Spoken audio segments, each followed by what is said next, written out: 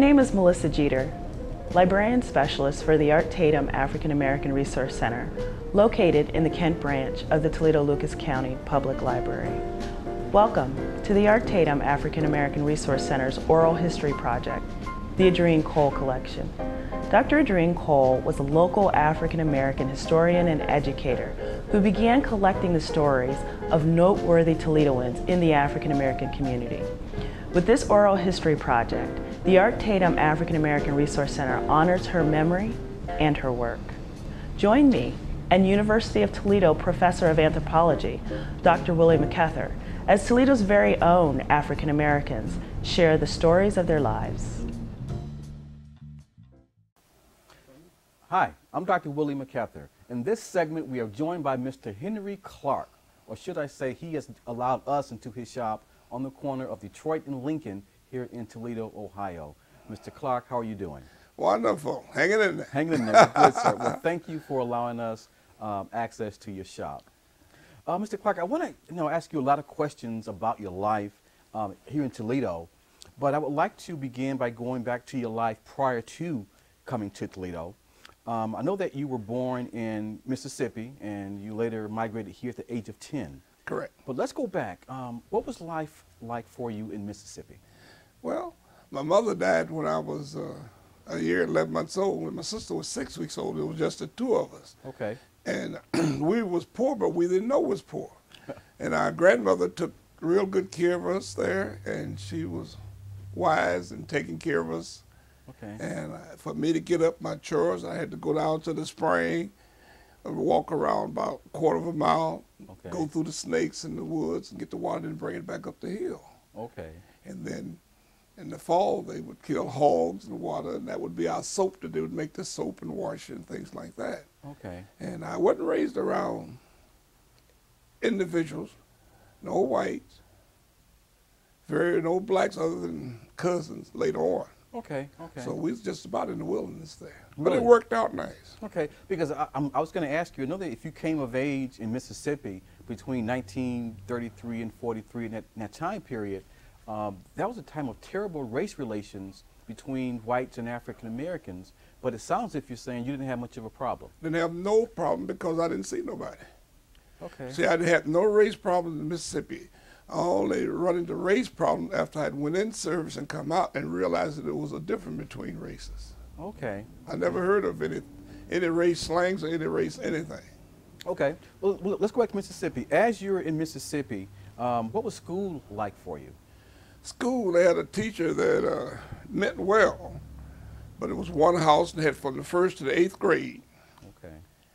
And I would go get the wood and everything, and we really didn't learn anything because we didn't have nobody to teach us anything. They did the best they could, but they didn't know what they was doing. Okay. They were well intended.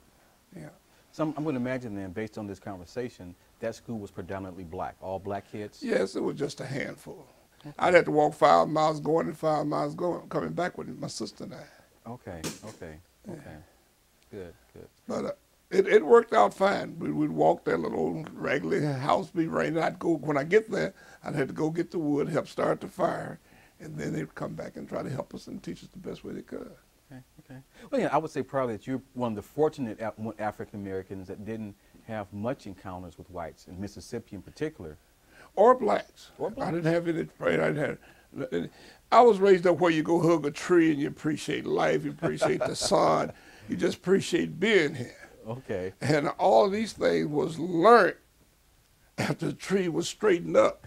And it may got tilted a little bit only because I didn't know anything about racial problems. okay, okay. One way or the other.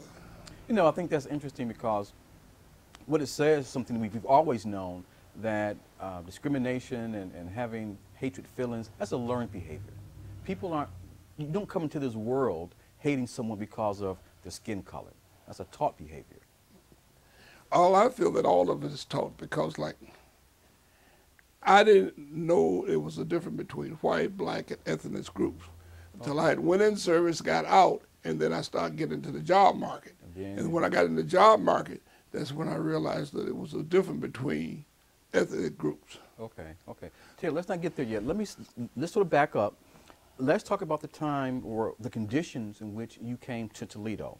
Okay. Uh, when we come here, we come here on a vacation. My dad had to produce us to keep from going in service.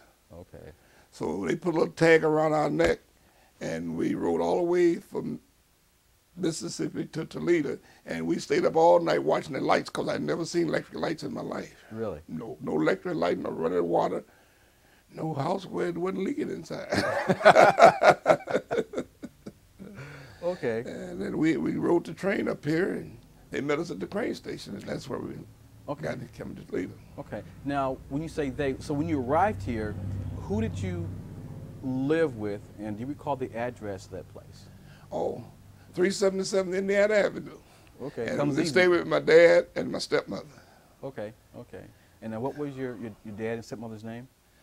My dad was uh, Washington Clark, and my stepmother was Willie Mae Clark. Okay. Okay. So then you, you, you and your sister get here at now you was you, you were ten. Correct. And your sister was how old? Eight. She was eight. Yeah, Okay. So you get here and you're on Indiana Street. correct. And what schools did you attend? Well, I still attended Gunckel School, better known as Dukemore College, because I never had a fight in my life because there wasn't nobody to fight.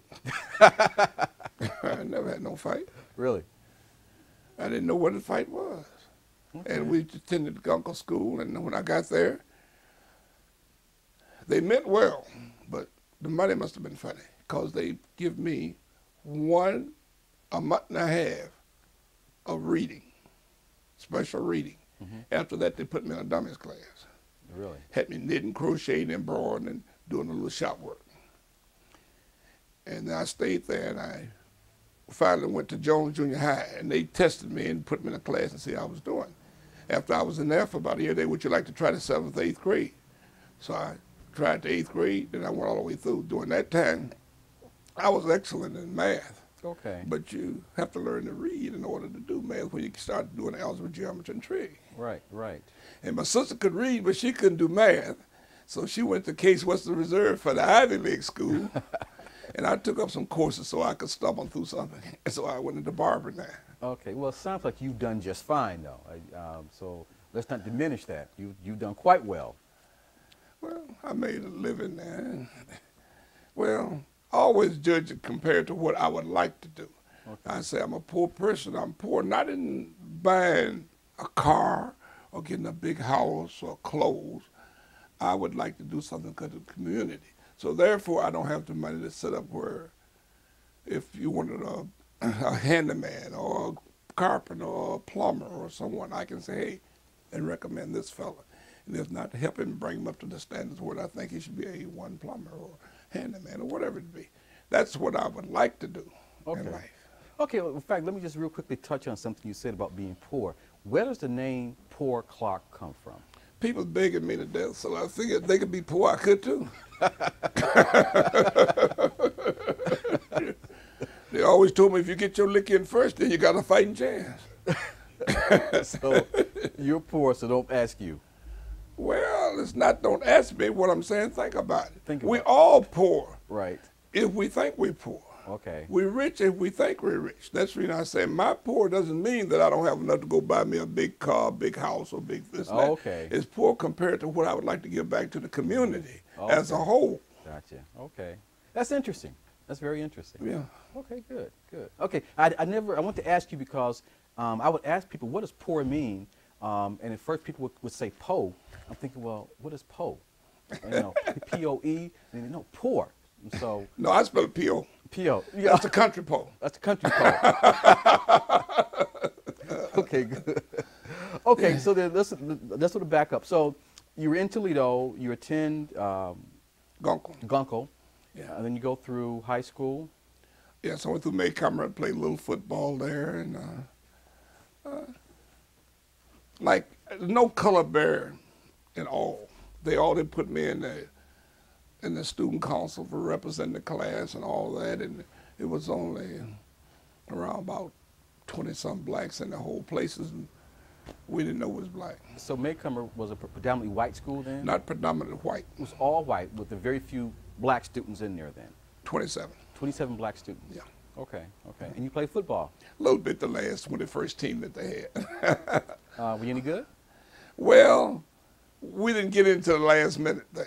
Okay. For what I was playing, I did well. You, you did all right. Yeah. Okay, good. Okay, um, so what did you do after you finished high school?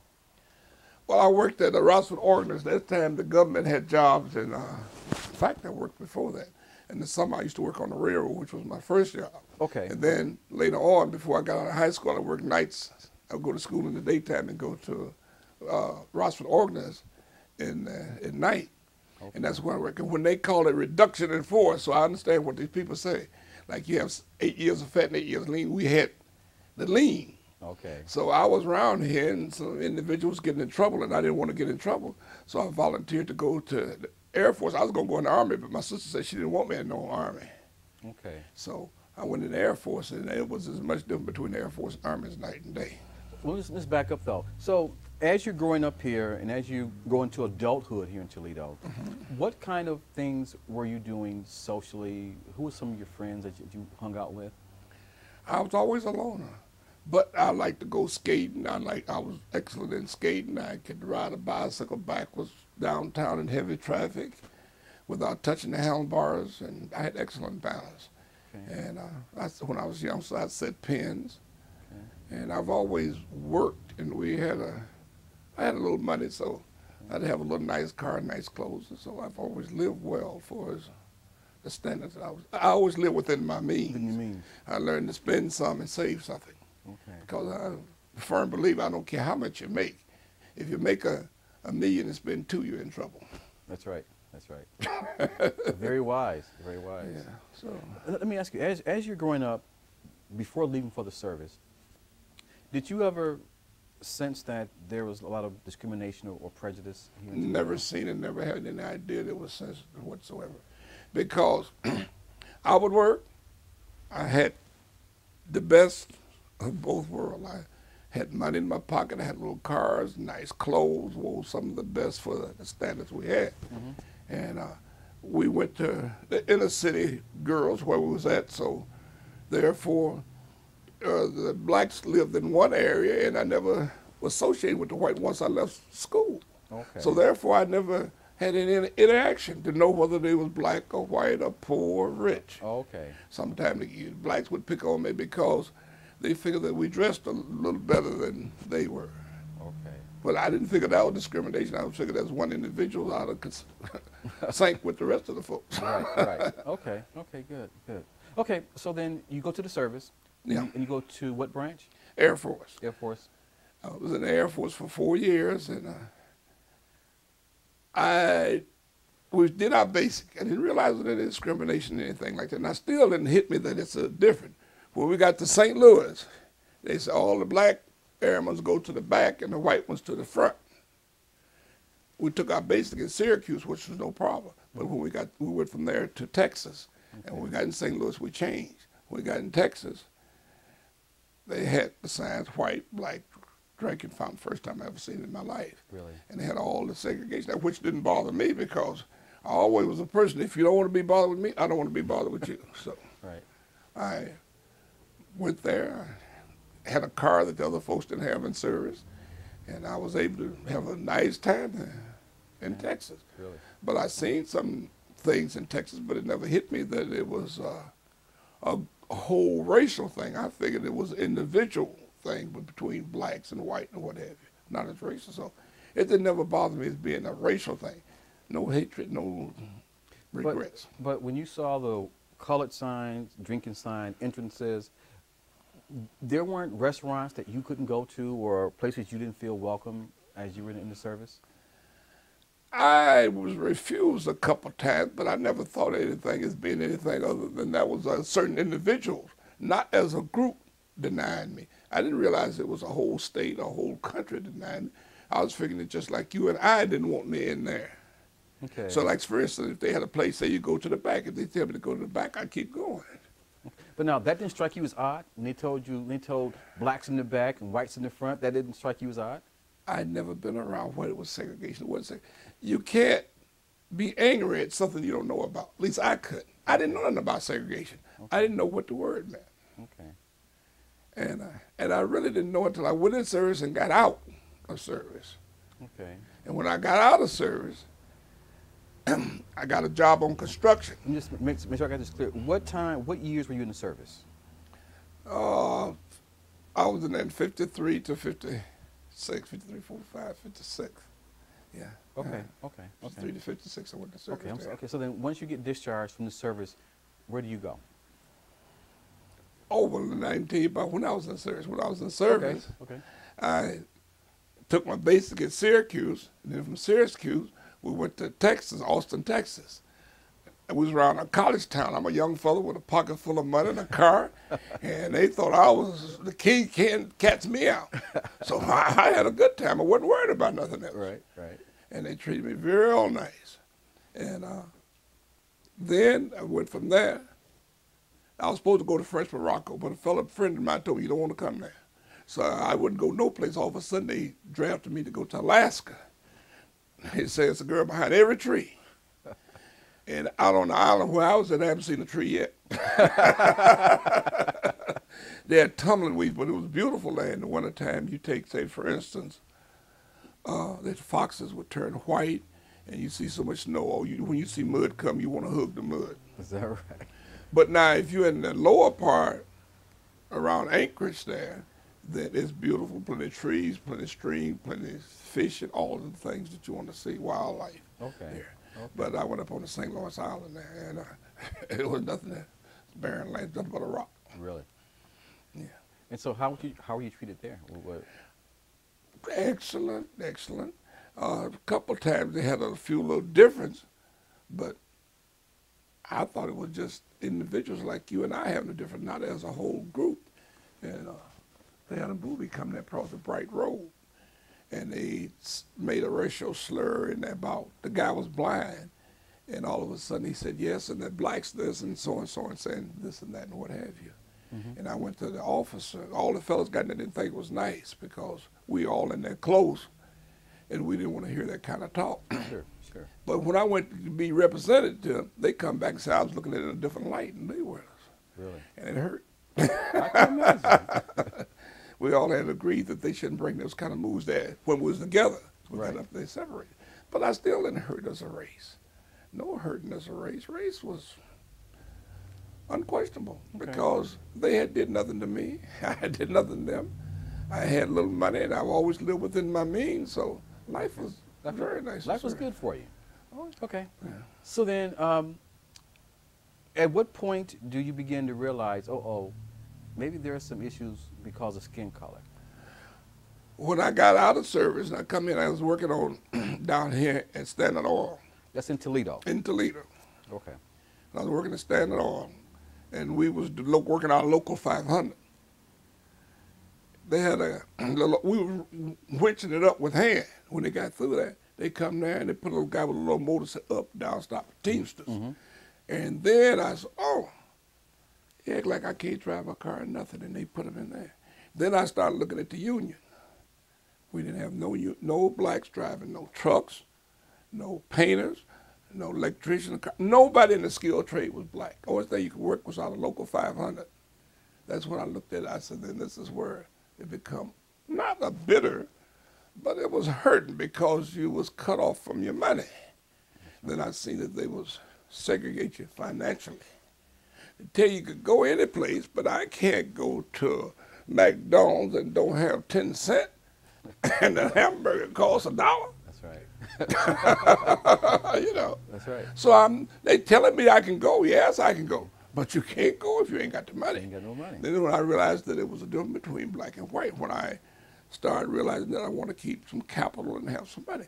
But then I had a good friend, Jew lawyer there, Kirshner, and he was very wealthy.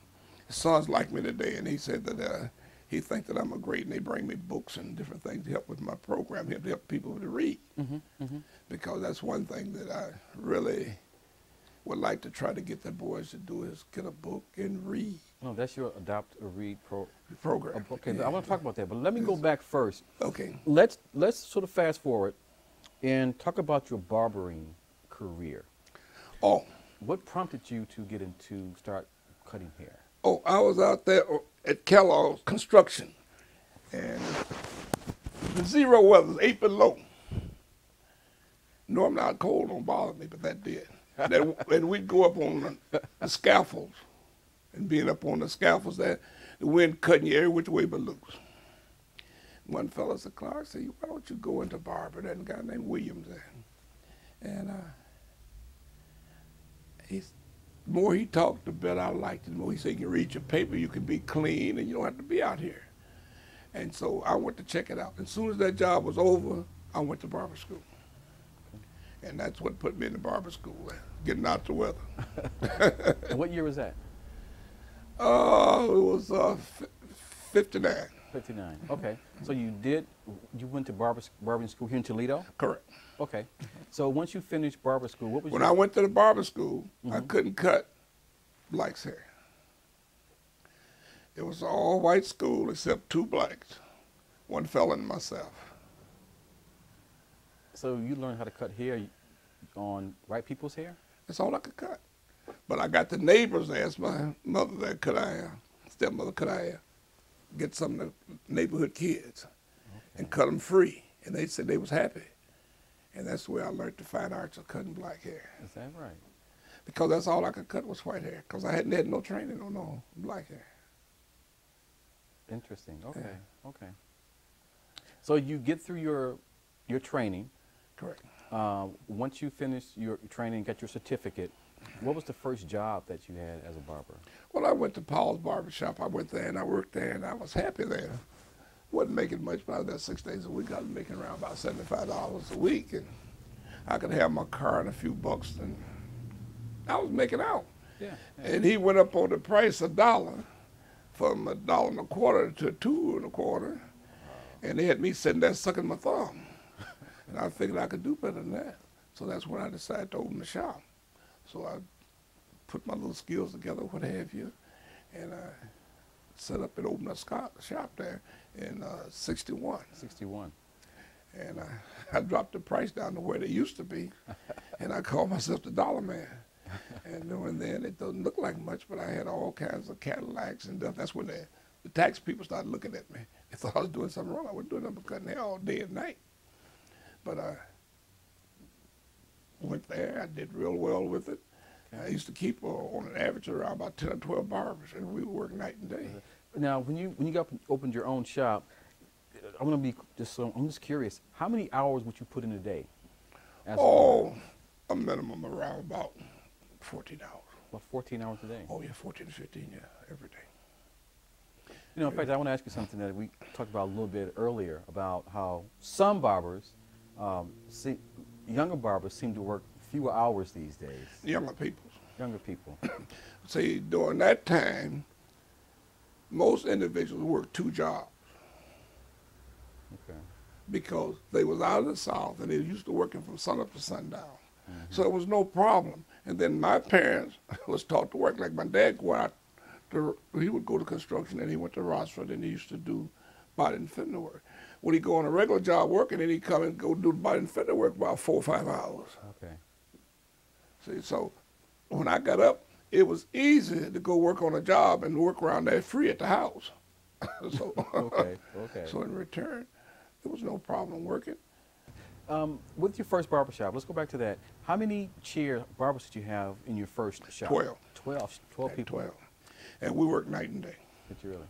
Now, did you require them to be there during a certain time? 8 o'clock until at least 9. If Eight the customer was there. 8 o'clock in the morning, Yeah. to 9 o'clock at night. That's right. Especially on weekend. Now, they, through the week, they could get out of there at 7. On weekend, had to stay to 9.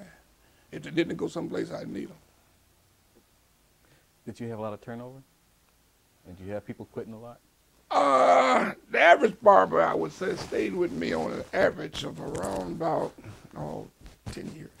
Oh, that's pretty good then. Yeah, 10 years, average. Now, you got a few that didn't. Okay. But they say they wanted something, and they was willing to work for it. And I showed them the door how to get it. Because most people took a barber as extra money, something to throw away, to have a little fun, throw away money. Mhm. I took it as a business to make a decent living off of it. And I figured my barber didn't have the benefits, but they made as much as anybody in the factory made, dollar-wise. Okay. Okay. Now, what they did with it was their business. But then, when they first come, they all had to have a Christmas saving. It was a must for them to save some of that money. Now, after they saved it, what they did with it was their business. But I always wanted them to have a nice car, a nice house, nice clothes. So then it was they were more than just employees for you then. Well, we was co-workers. You know, ain't nobody gonna get out of here this world alive, and nobody, uh, at least how way I see it. And all we can do is try to give away a little kindness. Because we got a round trip ticket, and one of these days we got to cash it in. you know, That's right. we got to cash it in. And we didn't bring nothing in the world. We're not gonna carry anything out. that's right. And the only thing we can try to give away is a little love. At least that's the way I see a reflection of yourself. No, that that's very. Um, I think that's very wise. How many locations have you been in since you?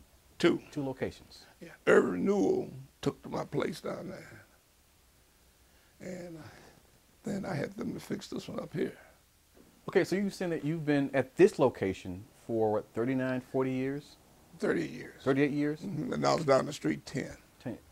So how many barbers do you have in this shop then? I have eight now. You have eight? Yeah, I have eight sometime. Okay, we'll leave, we'll, we'll, we'll leave that one. Um, let me ask you, what's, I mean, I know barbers come and go, shops don't always succeed. What's the key to longevity in this business? Take it as a business. Anytime a person take it as a business, they'll do well. And they'll make a living. Okay. But you've got to want to make money. Well, I don't say about make money. You gotta see one thing I found out. If you treat individuals right, the money will come. Individuals don't mind paying for good service. That's the only thing we'd be selling is service. My haircut is not that much better than the other fellas. It's, they like your conversation. I had a lot of fellas used to come every week just to talk to me. Customer service. Yeah, good service. You know, I want to comment on something. Uh, there's sort of this, this notion in the black community that the barbershop is more than just a place to get a haircut. What you're saying now. Well, with me, the situation that I've never been painted a, uh, a broad brush. Always, it's a black shop, true. But when I first opened up, half my customers was white. Is that right? Okay, because you could cut white hair. Well, it was a white area, and once I made them comfortable, they didn't mind coming in, and they was very comfortable in the shop because the whole neighborhood was white, and they was right at home. Okay. And long as I was there, they was gonna treat them right, and no other way else they couldn't stay. I mean, the barbers they had to treat them right Okay. and give A1 service. Okay. And like now, we have quite a few Mexicans here now, and I have one white barber. He's uh, oh goodness, all I tell you. Okay. Okay. Good. Good. So you've been in this location. Um, has the community treated you well in this in this immediate area? Well, let me give you a little bit, and I'll answer that. they had a person move to a town. They say, this is terrible. I say, how's the town here? They say, how was it where you were left from? Well, they was terrible. They said, well, it's going to be terrible here. So the next person come along, they say, they come and say, how's the town? Say, so how was it where you left from? He said, it was wonderful. So it's going to be wonderful here.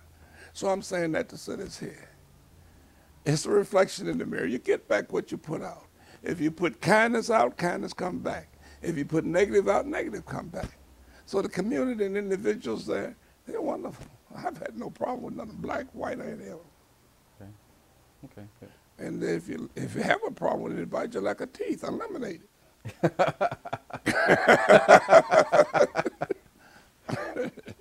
Okay. Good. Um, I know that you're currently involved in a in a project which helps, what inspires children to read. Talk a little bit about how you got involved in that, and why do you think it's important for children to be able to read? Well, I got involved that through Reverend Brock. And uh, the reason I think it's important because I never learned to read well. And uh, it's just like uh, uh, oyster there. It has that itching thing that before it become a pearl. In order for them to become a pearl, then they'll have to get out and work hard and learn to read because there's no elevation without education, the way I see it. Now, I can figure well, But I can't go from here to Detroit if I can't read. That's right. I'll start in Detroit, up in California, Mississippi, any place, but where I'm going. Right. So that's the guide road and the path to success. At least that's just the way I see it. Whatever you do, you've got to be able to read, and more so than ever. Like I tell them in a minute, a diamond was just an old rock until it had a lot of friction. And reading is that rock, and you got to get that friction together in order to become a jewel. That's right. That's right. Okay. Good. Good. Okay, uh, Mr. Clark. As we begin to, to, to wrap up, um, is there anything that we've not talked about that's significant in your life that's worth mentioning? Well, motivation. How do you motivate individuals? You got to keep trying. And I don't know whether we tried hard enough or what have you. Example to me is the best way to do it. And then motivation, motivation. And ask the youngsters, how do they observe us? What can we do to get along better with them? Instead of trying to put our views on them, let them put their views on us. And I think that you get a hold to a few of them, and I think you may be able to point them in the right direction, at least a few. But I know I've been happy with a few that I've had, and uh, I tell them, if you don't want to be, have a dummy like me for your boss, get your education so you can be the boss. Because you're going to have an uneducated person telling you what to do because you have a better personality than you. That's right. At least that's just the way I see it, you know. No, that's very Life profound. That's very profound. I mean, I, I think you're right. I mean, um, listening to younger generations and not judging them, Mm-hmm. um, because all generations change over time, of course. Yeah. Mr. Clark, last question I'm going to ask you. We just elected our first African American president, Barack Obama. Mm-hmm. Um, in your mind, did you ever think you'd see that day happen? Not in this life. No. And the reason why is because I didn't ever think he would get the backing end of the money behind him to help him out. It's always been some individuals willing to push verbally, but not financially. And in this world, don't nothing move without some finance. At least that's the way I see it. You know, mm-hmm. you need finance in order to help you move forward Okay. in anything you do or undertake. And in doing so, if you take a positive thinking, and remember, life is the gift, but I think a charity begins at home and spreads abroad. If I can't do nothing for me, I sure in the heck can't do it for nobody else. Then you have to learn to save, save, save. And these youngsters now don't understand saving. Years ago, when I was coming up, you take grandma, she'd have old handkerchief, dirty handkerchief. She'd have a piece of money in this corner, this corner, this corner, and this corner. But she never was broke. She learned to manage what you have. Individuals want to get rich and try to manage. If you can't manage a dollar, you sure the heck can't manage a million. It just don't work that way. At least that's the way I see it. I see these youngsters come up broke. They say, oh, he made all that money. He was a dancer. He was a rapper. He was a singer. He could have been a scholar. Mm-hmm. He know nothing about finance. The old lady with that handkerchief could have taught him more about that finance and all the education he had.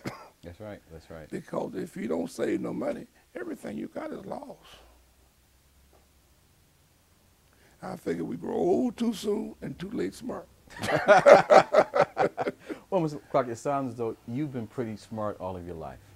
No, my sister was the brain. Oh boy, she said I was I was I was all right, but we were just two twins, like right? two twins. Oh, she was the brain, because like she uh, uh she was at school and the lady give her uh, a B because she said I don't give blacks no A. But now she went to the Ivy League school and got all A's, and they liked her so well they hired her. Then they started paying her in the six figures to teach them over in Africa how to become, uh, Really? the case was how to become nurses and what have you. So, like I said, she was she was nice, but she would she always said that I was smart, but I just needed a chance to get educated. See, I never learned to read well. I always figured, shoot, algebra, geometry, and trig, but they'd have to read it to me. I could carry average. Used to carry two and two now.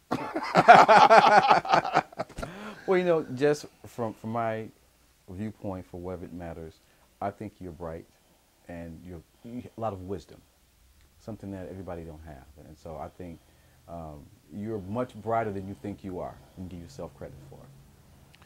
Well, I learned from everybody I run into. Individuals like you all is a big help because I ask for a good thought from just about everybody I run into. And B, when they get together, I piece them all together. And it's not my thought, it's theirs. That's right. Oh, good. good. And I used to always give out gifts to the schools and the youngsters with good grades. That right? Yeah. And so they always could come here and get something to remind a token for the grade, for good grades. And even once in a while, I get them out for bad grades. Let me go back because I do want to ask about the uh, the program in which you cut hair for children that read a book. Oh, Explain yeah. how that works again. okay. Now, if they go to the library and get a book, and they better not fool me because, like, I'm going to ask them a question. they can get a free haircut on Tuesdays at no cost. Really? Now, I had one youngster, he's my life story, I never will, always will tell it. he went, he brought a children's Bible. I said, we're going to cut your hair free this time. But go to the library and get a book from the library. Okay. He come in again. I asked him about it. He brought a book, cookbook. It was 12 years overdue. and he was 12 years old. I said, I'm going to still cut it. But don't you come back no more until you go to one of our Toledo library and get a book. You get a real book and bring it back. but I haven't caught him yet no more. So if I'm out here, I ask him, I quiz him, so I want to know the author and something about the book. I don't care what it is. Got to tell me something about it. Do you really? Oh, yeah. See, because if you know the author and know a little something about it, then you can, you, you, you've done, you at least got to start it. Absolutely. Absolutely. Because getting the book and looking at it, ain't nothing going to go into it if you don't reach it and take it out. that's right. That's right. Well, so again, that's just another shining example of how much you have given and continue to give to this community beyond cutting hair. I mean, I think you are helping to inspire um, young people to read, and I think that's that's just admirable. There's no other way to look at it. Um, one question I was going to ask you about: um, Are you still cutting hair? I cut a little hair, and I do a little hair. I'm a beautician too, as well. I took the beauty course when you had to take the whole course, and I did more hair I'd bitch than anybody in the country at one time. Did you really? Mm -hmm. Okay. Yeah, they give me good, fast hands and a good, healthy body up until now. Okay. And uh, it's hanging in there. Okay. But oh yeah, I used to, I used to do more hair than anybody in the city at one time, and I used to cut more than anybody in the city. But like I said, it, oh, good, I'm a firm believer. if you make one step, the good master make two. But if you sit there and knock and don't make no step, that's the way you be sitting. That's right. nothing venture, nothing gain. okay. Mr. Clark, let that then be the last word. And once again, let me thank you for allowing us to come into your shop today. Um, you know, I think you have been such a wonderful inspiration to the people of Toledo. You've made huge contributions beyond what you know. And on behalf of Toledo, let me say thank you. Okay, my pleasure. Okay. You know me. To my talking, I'll talk from now.